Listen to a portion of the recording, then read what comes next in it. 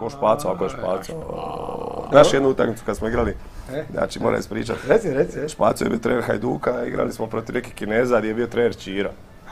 I sad Čiro stoji s ove strane, vrišti onim svojim piskutavim glasom, ovamo, ovamo špaco stoji i govori.